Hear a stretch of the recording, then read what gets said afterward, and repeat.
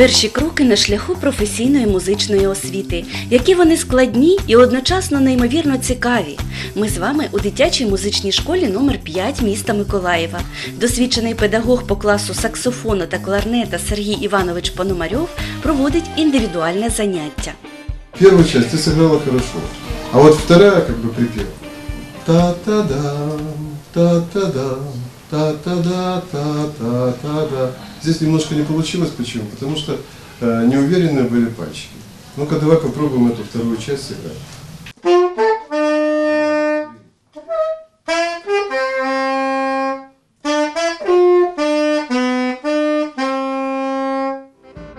Юну ученицю маестро звуть Настюша Ляхова. Їй лише сім рочків. Між тим за плечима дівчинки вже трирічний курс навчання грі на фортепіано. Два місяці тому Анастасія вирішила навчитися досконало грати і на саксофоні. І є вже перші результати.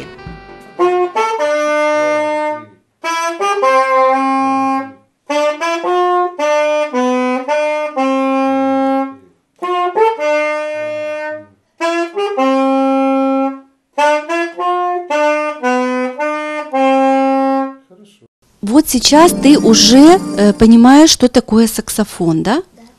Э, Если сравнивать игру на пианино и саксофоне, что сложнее для тебя? Пианино. Почему? Потому что на саксофоне пальцы прямо ставят, а на пианино со- э, надо согнуть их. Для того, чтобы иг- играть на саксофоне, надо знать, э, как э, берутся ноты. Так. А еще, наверное, надо знать, про- как правильно дышать. Ну да, Сложно вот вдох такой сильный-сильный делать? нет. Настя розповіла, що крім музичної школи обожнює відвідувати заняття з фігурного катання. У цій сфері дівчинка не раз показувала кращі результати на заходах різних рівнів. Між тим, сьогодні її мета саксофон. Під час заняття Настя зібрана та зосереджена, уважно слухає настанови вчителя. Трохи напруга спадає, коли у клас заходить її улюблений Тарасик, і діти залюбки показують вже добре відпрацьований номер.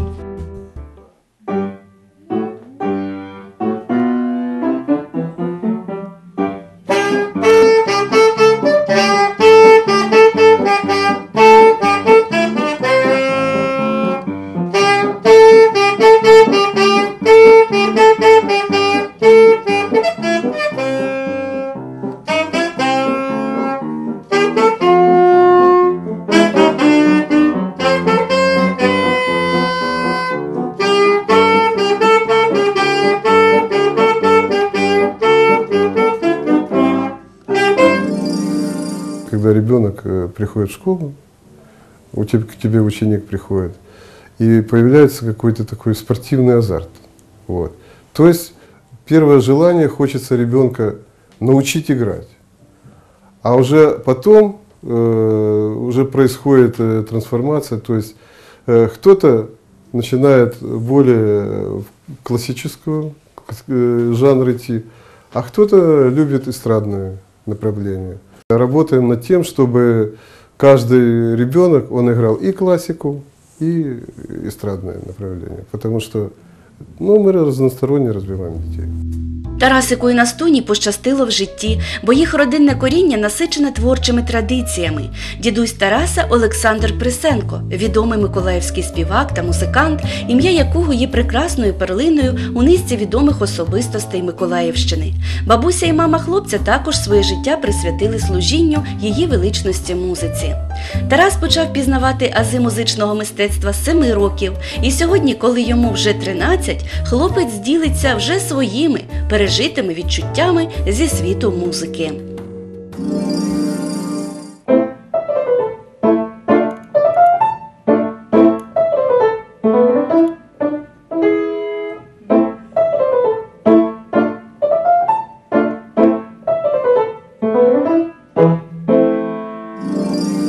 Я сейчас вам сыграл мою любимую, мой любимый этюд, который называется «Силуэт». Скажи, пожалуйста, Тарас, как давно ты занимаешься в школе? Я занимаюсь в музыкальной школе уже 6 лет. За 6 лет. Вот как ты считаешь, что произошло в твоем сознании? Чему ты научился? Что ты новое познал? Что ты теперь умеешь делать? За эти 6 лет я как бы привык к этой музыке и э, полюбил ее настолько, что она как бы изменила мою жизнь. Я везде слушаю, э, она мне нравится очень сильно. Ну, во-первых, благодаря музыке можно путешествовать в, различные времена и, э, не знаю, слушать различных композиторов. С чим у тебя ассоциируются звуки фортепиано? Ну, звуки фортепиано, они, во-первых, могут быть разными. Могут быть грустными, могут быть веселыми, э, длинными, такими плавными или резкими. Мне предполагаю, что вот фортепиано это как э, путь, в зависимости, как, какая, какая жизнь ведет человек. Вот бывает, что такое, знаете, э, игривая, э, замечательная, великолепная, веселая. Бывает такая, знаете, скучная, меланхоличная, ну, э, бывает спокойная. Ну, как бы, мне кажется, что все как связано, как будто бы. Вот. Именно с жизнью человека. Жизнь человека, фантазии его мысли, вот, э, вот композиторы, они связывали свои мысли, фантазии, эмоции и вкладывали в это в свои э, э, этюд, да, ну, композиции, произведения. Тарас розповів нам, що йому цікаво пізнавати самого себе. Тривалий час захоплювався хореографією. Для того, щоб зрозуміти суть народження звуку, вступає до музичної школи. Що далі, хлопець поки не відкриває всі таємниці. Між тим каже, прагне якнайбільше урізноманітнити коло своїх зацікавлень. Те, кто хочет э, заниматься музыкой э, и любит музыку, он обязательно должен прийти в музыкальную школу. Это будет сначала трудно, но э, ты должен привыкать к этому и стремиться, и тогда будешь получать удовольствие, не будет никаких усложнений, у тебя все получится. Все-таки не зря говорят, что музыка от Бога. Поэтому есть очень э, дети, которые очень хотят, но у них не получается. Вот.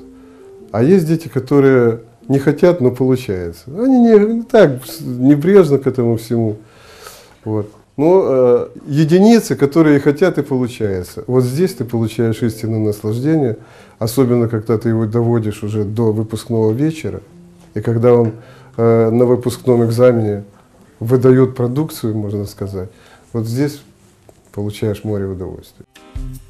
Скільки таких миттєвостей бентежили душу досвідченому педагогу, музиканту з майже 50-річним стажем. Каже, що його професія ювелірна, тому що один на один, тому що не має права не побачити, не дати шансу розквітнути юному даруванню. Тому Сергій Іванович активно долучає своїх учнів до участі у різних творчих заходах, конкурсах, фестивалях, концертах тощо. У 2012 та 2015 роках учні його класу брали участь у міжнародному творчому проєкті фестивалі Європа Перший свисток, який проходив у Польщі.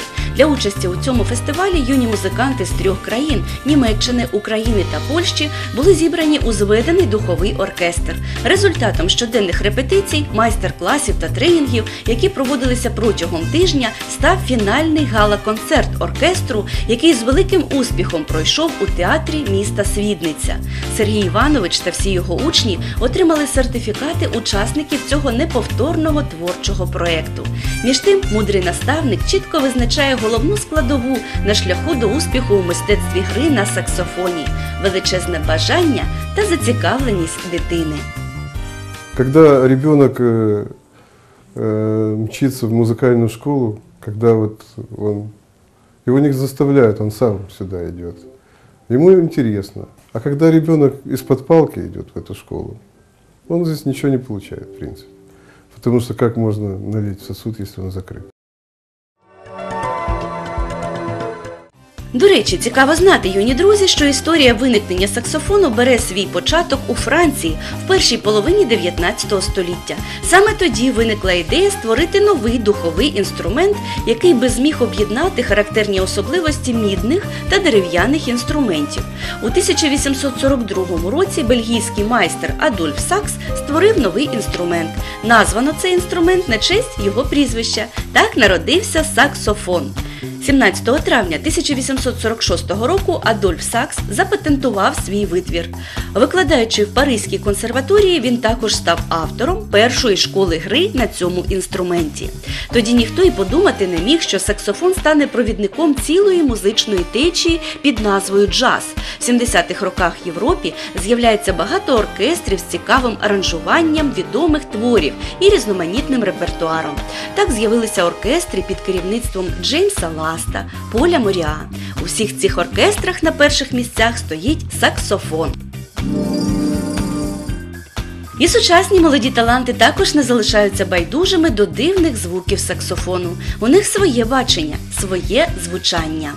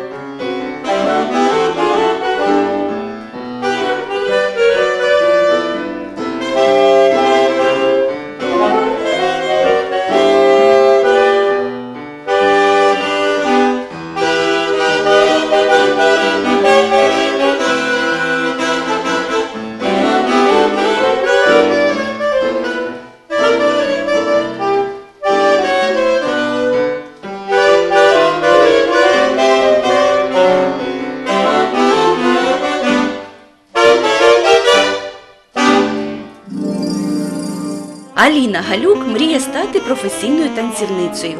Між тим каже, що для цього треба пізнати музику зсередини. Сьогодні вона навчається у четвертому класі дитячої музичної школи і каже, що лише щоденні тривалі заняття на інструменті наблизять до бажаного. Я с детства любила слушать музыку, что-то там напевала всегда, и сейчас меня это вдохновляет. Я научилась играть песни быстро, Научилась э, слушать музыку, понимать ее. Потом научилась, ну, сначала я не знала, что такое ноты. Я научилась э, читать по нотам, играть по нотам. Це тяжело? Ну, сначала было, да. Ну, надо слушать учителя, который тебе что-то говорит, потом понимать музыку, то есть слушать ее, чтобы ты понимал, о чем она, про что она, и всегда ну, стремиться к этому.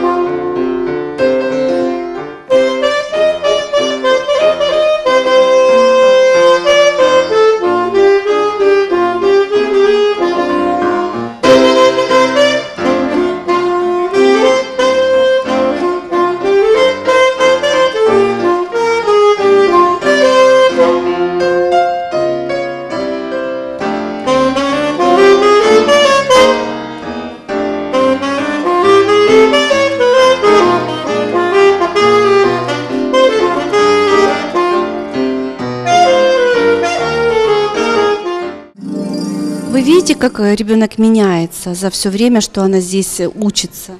очень сильно изменился. Появилась такая серьезность, уверенность в себе. Это он, красавица наша. И преподаватель музыки – это очень такая серьезная и важная профессия. Это я не знаю, как, как можно совладать с такими с количеством детей выступить, чтобы они выступали, так красиво играли. Незамінним помічником на сцені для дітей є концертмейстер, вчитель і дитина у єдиному творчому процесі. Тонка гра допомогти і залишитись непоміченим.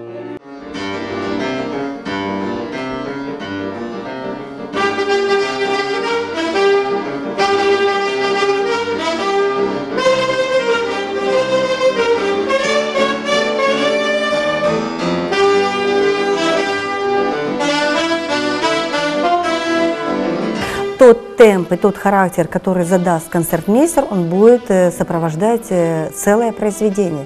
И если не будет э, дан тот характер, то потеряется смысл. Мы прежде всего всегда обсуждаем, что это за произведение, какой она характер несет. Если это шутливая пьеса, значит ее надо сыграть весело. Если это пьеса повествовательного, минорного плана, то задумчиво. Оттуда, конечно, качество звука и все должно быть.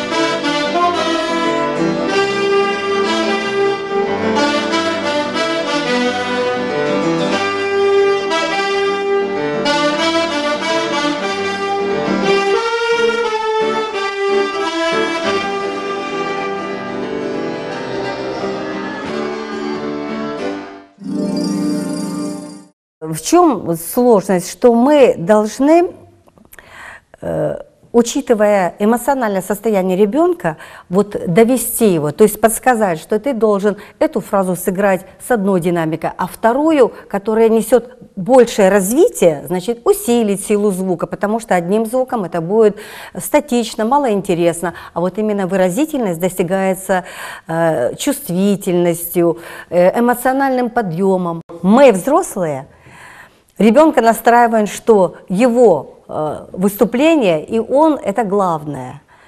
Поэтому он должен быть уверенным, а концертмейстер всегда поддержит его уверенность.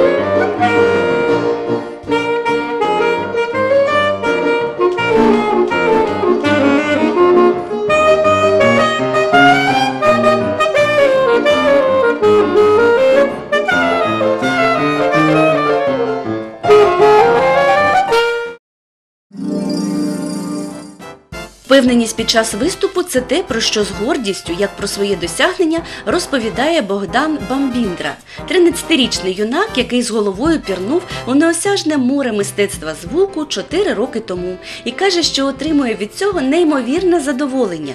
Богдан на сцені зібраний та зосереджений. Він має свою досить виважену позицію, яка сьогодні формує філософію творчого пошуку підлітка.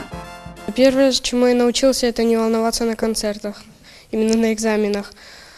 Потом пальцы, э, пальцами работать тяжело. Есть аппликатуры, но тоже переборол. И учиться, ну, терпение вырабатывать, если что-то не получается иногда. Я не понимаю современную музыку. Чому?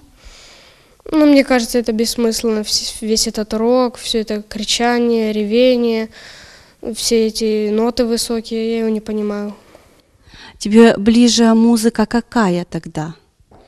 Спокойная, которая, ну, мечтательная, э, романтическая, романтизм. Ну, под нее можно о чем-то мечтать или что, ну, что-то решать для себя, думать.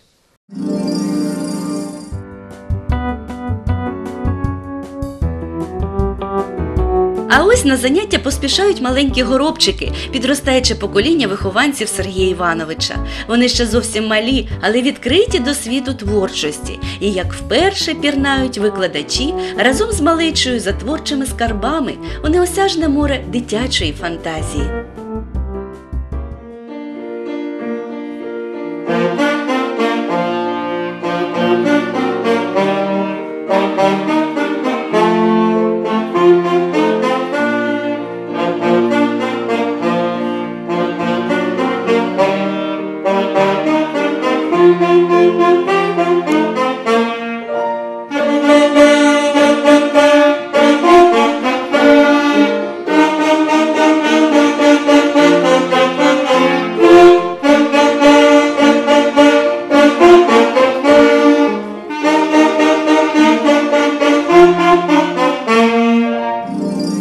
Знакомиться с тобой. Я Коля Козловский, по отчеству Николаевич. Николай Николаевич, сколько вам лет? Мне 9 лет. Так, как получилось так, что музыка увлекла? Музыка, только я когда... У меня был, была такая подружка, зовут ее Лиза. Я пришел первый раз на урок к Людмиле Демьяновне. Ну, как, она пришла, но мне, мне Людмила Демьяновна сказала именно, что у меня хорошие данные. И пригласили меня Сергей Иванович и Людмила Демьяновна учиться у Сергея Ивановича. Первым дел- делом нужно, нужно именно знать ноты. Потом ты уже по нотам можешь играть какие-то песни. Сначала, сначала легкие, а потом все сложнее и сложнее. Jingle Bells для тебя сложная мелодия? Jingle Bells, э, тогда, когда я его начал, начал еще изучать, то мне он был очень тяжел, тяжел. Все, все вокруг меня, все друзья мои играли, а, ну а я никак не мог его выучить. Ну, когда стал заниматься дома, то уже все получилось. Все хорошо уже, да? Колечка, ну что ж, Jingle Bells это обозначает, что скоро Новый год? Дед Мороз придет? Желание готово уже? Желание? Да. в будущем я бы хотел исполнить именно произведение свое. Какое-то. Личное написать? Лично. А, а ты уже как-то знаешь, как надо написать произведение музыкальное? Я, да, я знаю, я, я дедушке, по, я дедушке когда-то дома он попросил меня, и я играл, выдумал, выдумал. То есть чистая импровизация была, да? Сложно это? Ну, как бы на ходу думать это чуть-чуть тяжело. Ну, я справился. А цього синьоокого хлопчину звуть Ромчик. Йому 8 років, між тим три з них вже присвятив музиці. Каже, що труднощі на шляху опанування музичного мистецтва його не лякають, і працювати щодня він вже звик. У вас каждый день идут репетиции, занятия, да? А в это время твой дружок там какой-нибудь играет в футбол и говорит, да бросай ты свой саксофон, пошли играть в футбол. Бывало такое? Ну, иногда. И что ты ему отвечаешь? Подожди, я сейчас доиграю и приду. Для тебя важно доиграть, да? Закончить. Эм, Скажи, как вот ты себя перенастраиваешь, чтобы научиться все-таки? Вот на что ты настраиваешься? Какую цель для себя ты ставишь, чтобы все-таки стать хорошим музыкантом? Ну, много играть, там ходить на занятия, учить разные произведения, Понятно. Кем в будущем ты станешь? музыкантом. Все-таки музыкантом? Ты будешь играть в оркестре большом или ты будешь солировать? Ну, я еще не знаю. Новому году желание уже загадано? Ну, пока э, есть один вариант. Ты нам его откроешь? Ну, Наверное, машина какая-то классная, нет? да нет, просто чтобы было много друзей. У меня и так их очень много, но хочу, хочу еще больше. Між тим і Сергій Іванович поділився з нами своєю найзаповітнішою мрією. Виявляється, і у дорослих під ялинку також є свої побажання. У меня был, видите, разные. Саксофон сопрано, саксофон альт, саксофон тенор, саксофон баритон. Вот. То есть э, для малышей это не, не, непосильные инструменты. Вот. Но я надеюсь, что мы подрастем и мы создадим опять интересный э, квинтет, вот, где будет бритон саксофон, где будут разные саксофоны. Ну, вот такая мечта у нас. Якщо людина про щось мріє, це означає, що життя триває. І нехай веселі дзвіночки, чию мелодію так старанно відтворює малеча, лише наблизять здійснення найзаповітніших мрій кожного сміливця.